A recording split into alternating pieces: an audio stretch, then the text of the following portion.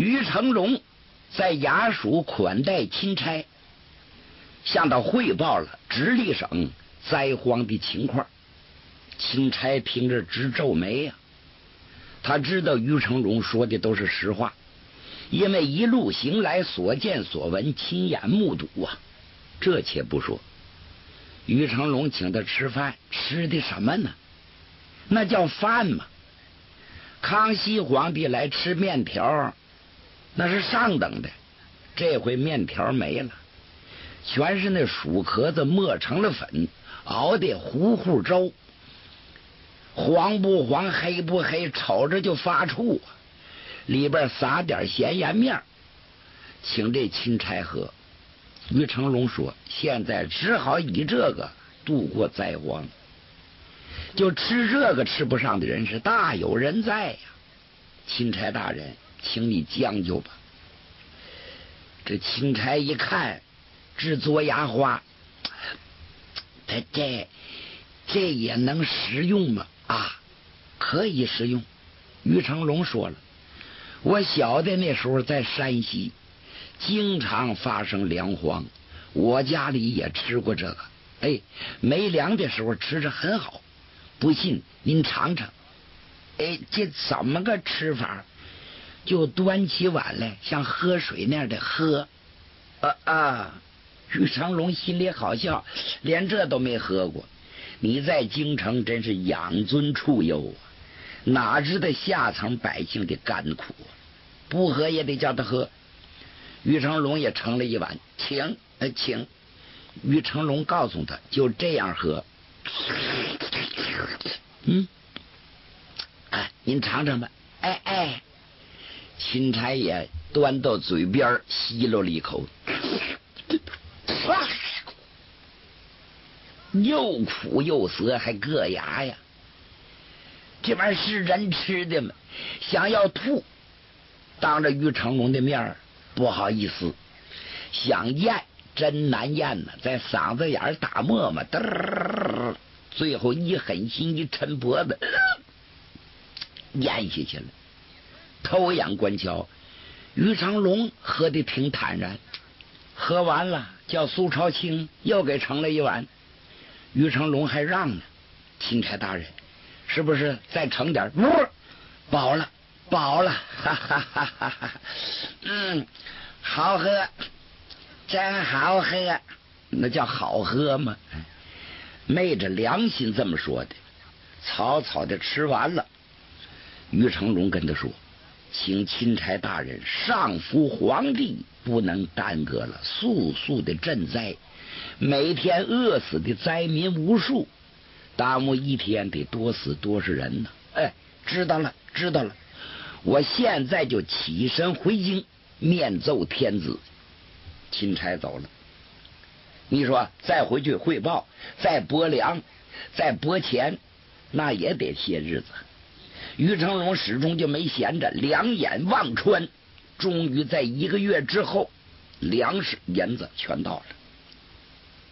于成龙大喜呀，率领文武官员把这银子、粮食接手过来，马上开会部署，哪里灾情最严重，哪里的饥民最多。这是重点，让他们纷纷汇报，如实的禀报到巡抚衙门。于成龙不放心，亲自坐镇开仓放粮。他到各地去视察呀，离开了上古，先到房山，又到武清，又到永清，又到宝坻，最后一站到唐山。唐山县的知县叫周振山，听说巡抚来了，列队迎接。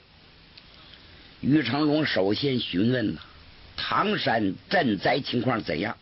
周振山是个干员，如实做了禀报，把花名册呈上来。于成龙马不停蹄的看了又看。周棚设在何处？呃，本县东西南北四座城门外都有周场，高达周棚，在那儿赈济灾民。可曾发出布告？都通知了，家喻户晓。咱们到周棚去看看吧。就这样，周振山陪着巡抚大人来到周鹏这。于成龙一看，好啊，灾民都排着大队，携男带女，扶老携幼，一个个骨瘦嶙嶙，跟活鬼差不多呀。看来，什么最重要？粮食是最重要、最重要的。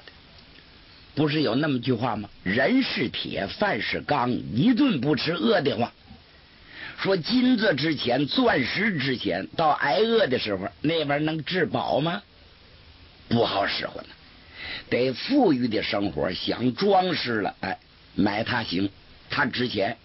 看着那粮食不值钱，到了关键的时候不吃行吗？说国家许备粮食。这是至关重要的。于成龙是深有感触啊。有时候啊，啊帮着在这放粮、盛粥，苏朝清往往袖子干的更欢。知县一看巡抚大人都伸手了，自己不能看热闹，把官架子也放下了，在这维持秩序。于成龙发现有个妇女，能有五十岁左右，看衣着打扮比旁人强得多。看气色，焦黄，气色不怎么正，手里拿着个瓷盆也来打粥。于成龙怀疑啊，怕有人冒领。赈济灾民不是人人有份国家有规定的，家里有钱的不在此例，能自食其力的不给，家里有强壮男人者不给，专门赈济老弱病残。是这样的，那不是说摸摸脑袋就是一个大锅粥随便吃，那不行，那得多少粮食？有很多人都得钻空子。于成龙看着可疑，让人把这妇人就叫过来了。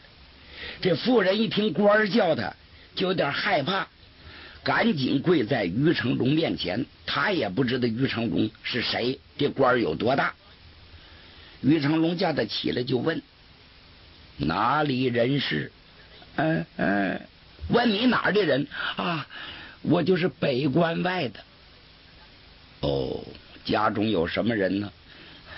我丈夫早年死去，我我，你你说我怎么说？要你实说，要我实说，我现在也可以说是一个人，也可以说是一大家子。于成龙一听，这叫什么话呀？有儿有女吗？有跟没有差不多少。嘿，这叫什么话呀？究竟怎么回事？老爷，你要问呢，我太伤心了。我有两个儿子都成家立业了，虽然说现在是灾荒之年，他们可没断顿，都能有吃有喝。可俩儿子谁也不养我，推过来推过去，所以方才我说，说我一个人也可以说我一大家子也行。到了现在，我孤苦伶仃，无依无靠，故此我又说是一个人。你俩儿子为什么不养活你？哎，天呐！天生的逆子，从小就不学好啊！我容易吗？给他们拉扯成人，让他们成家立业，到了现在连娘他们都不养了。于成龙最听不得这个，那你因何不到官署去告他？老爷，官署那是管大事的，像这种事儿哪能管得过来？哎呀，糊涂至极呀！父母官，父母官就是人之父母，大至杀人越货、抢劫强奸，小至吃吃喝喝，无有不管呐。你应当告他忤逆不孝，官府自然干预呀。嘿嘿，看来怨你呀。于成龙说着，点手，把知县周振山叫过来，叫他听听。周振山这脸就红了。他就是父母官，在属下出来这种事，脸上无光。呃呃呃，是是是，这一夫人，你姓什么？我姓陈。哎呀，你早就应该到我的县衙来禀报此事。你这俩儿子，这这是可打不可留啊，诛叔可恨。哎，万恶淫为首，百善孝当头，连母亲都不孝顺，跟禽兽何异呀？于成龙吩咐一声：“把他俩儿子给我抓来，我好好教训教训他们。”差人按着地点抓人去了。于成龙深感同情，所以也让他领着周，然后告诉他别走，当着你的面，我教训你儿子，让他们养老送终。夫人是千恩万谢。于成龙啊，真累了，腰酸背痛啊，多少日子不得安闲呢？所以找了个地方坐下歇着。知县在那忙活着。过了好一阵子，就听一阵人喊马嘶，把陈氏那俩儿子给逮来了。这俩人来了之后，一看官在这呢，急忙跪倒在地。于成龙先核实一下，陈氏，这是你俩儿子吗？一点不假。于成龙把脸往下一沉，打量这俩，一个是个胖子，一个是个瘦子，胖子高一点，瘦子矮一点。于成龙最恨不孝顺的人。你看他俩穿的也不错，脸上也不带着饥色，没挨饿。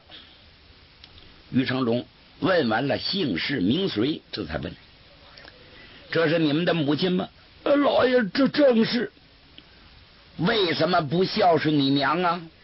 你娘都断炊了，吃不上饭，言何不管？”“喂喂。”老爷，他是这么回事我家三口人原本也不富裕，我让我二弟呀先养几天，然后我再承担。我二弟不管，我来气儿了；他不管，我也不管。老二说话了：“老爷明鉴，他家有长子，国有大臣，我大哥都不养我娘，为啥叫我养着呢？这事儿不公平。”呵。于成龙一听，你们还有理了，两个可恶的东西！你娘怀胎十月，一朝分娩，把你俩生在这个世上了。哎，你们现在成家立业了，家成业就，把老娘抛到外边不管了。你们情同禽兽，猪狗不如。我大清国朝以孝治天下，你们懂不？平常听人说过没？万恶淫为首，百善孝当头。嗯，懂吗？现在明白了，现在明白，恐怕一会儿就糊涂。不重则尔等，你们不能改。来来，拉到土坡下头，每人重则四十大板打。哎呦，当差的也恨。把这俩人拖下去，这大板子就抡开了，啪啪啪！哎呀，我的妈！啪！别打了！啪啪啪！这玩意儿正好使。那陈氏刚才那气儿挺大，一看俩儿子受刑，他又心疼了。当老人的都犯这毛病，赶紧扑过来就拦着，趴在俩儿子身上，哎，认可替儿子受刑。老爷别打了，他们知错了。老爷手下超生。于成龙一听啊，这是个贱人，这犯贱的人有的是。咱举个例子，你就现如今也是，两口子，丈夫打媳妇儿，有人看着气不公过来拦着，甚至有人打着这男的，媳妇心疼了，马上跟男的合二为一。哎，来对付打人的人，这事不常有吗？于成龙一听这火就撞上来了，吩咐一声，把陈氏拖到一旁，接着打。于成龙指着陈氏的鼻子说：“他子不教，父之过；教不严，师之惰呀。可见他们小的时候你是溺爱不明，才有今日啊！你要教导有方，何至于不管你呀？”你也要承担责任呐！如今缺吃少穿，这也是你自己找的，你懂吗？夫人连连称是。这阵一顿板子打完了，两个人皮开肉绽，都站不起来了，爬着过来。大人，你俩听着，从今之后怎么办？孝顺我娘，把我娘接到家里去，供给吃喝。你们俩不推脱了吗？谁先养着？老大说了，我先养上半年。老二说，我养下半年。你们俩光说我不相信。周大人，知县周振山过来，马上把邻人找来，他们的邻居，给作证画押，取保释放。如果今后你们口不对心，不奉养老娘，你娘告到衙门，知县就给做主。你们虐待一次，揍你们一次；虐待两次，揍你们两次，一直把你们打残疾为止，懂吗？啊，懂懂懂懂，下次再也不敢了。这取保释放，哎，于成龙心里挺痛快，但是也很难过呀。这世间上怎么就有这种事情？你怎么开导，怎么教育，也有忤逆之人。其实于成龙想这事儿，在我们中国宴席了几千年，就到了今天新社会了，不孝顺父母的依然存在。您看看报纸，听听广播，互相推诿、不赡养老人、打官司告状的事儿比比皆是。他就有这么一号的人。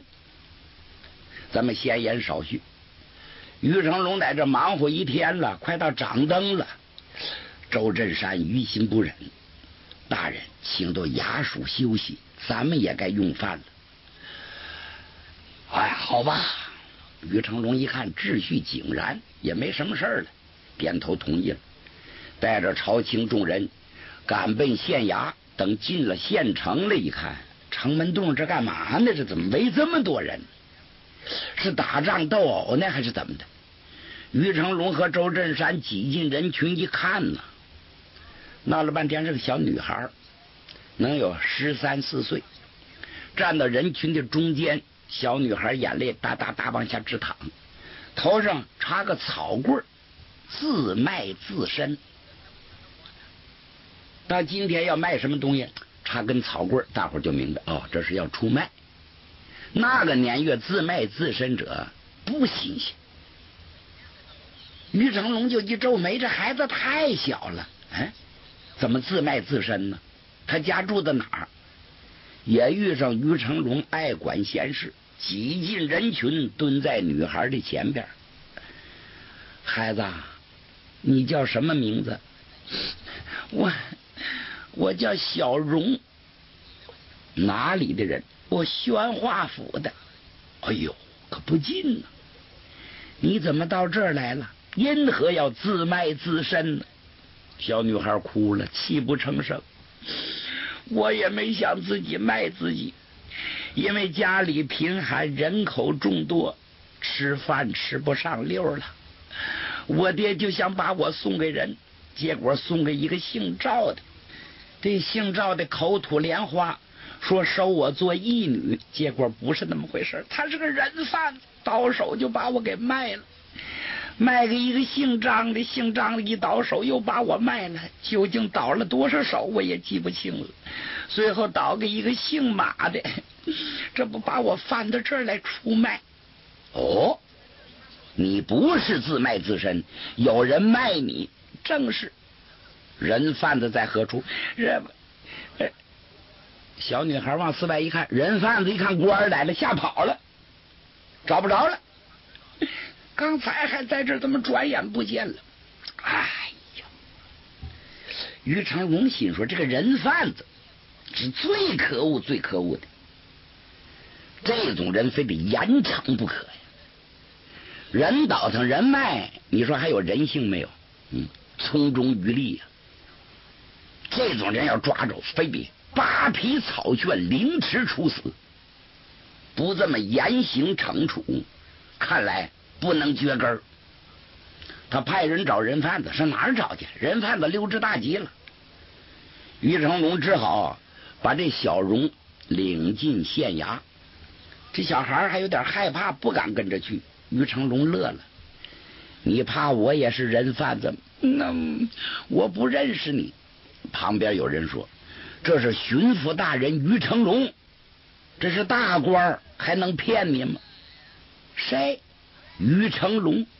于啊啊啊！我知道，我们本地人都知道，说于成龙是个大大的清官。于成龙乐了，不错，正是老朽。这回你放心了吗？那我放心了，爷爷。这小孩还真会来事儿，扑到于成龙怀里哭了。于成龙喜欢怜悯，拍拍他的头，拉着他的小手，走吧。先跟我到衙署，我派专人送你回家，你可愿意？我早就盼着回家，做梦我都想。好好好，跟我走，跟我走。哪有几个像于成龙这么爱管闲事的？人世间的事管起来还有个头吗？他就这么爱管闲事。等到到衙署，该吃晚饭了，掌上灯来了，知县命人拿盆。端了一盆面条，打的肉卤。这知县心里就直敲鼓，心说这玩意儿不知道对路不对路。知道这上级呀挑剔平大，给好的吃他不吃，给歹的吃拿不出手来。就这面条搁点肉卤，不知道对不对他的胃口。等盛一大碗端到于成龙近前，于成龙果然把脸沉起来了。呃，贵县。老百姓喝糊糊粥都喝不上，咱们怎么忍心吃肉卤面呢？嗯，哎，知县一看来事儿了，就知道这个上级极难对付。哎，您了年老体衰，偌大年纪了，您看看您瘦的成了一把骨头了，卑职不忍呐，特为关照下头给您做了点面。这算得了什么呢？您贵为巡抚，吃点肉卤面，这算过分吗？哎呀，周县令啊，你要同情老百姓的疾苦，你我算得了什么？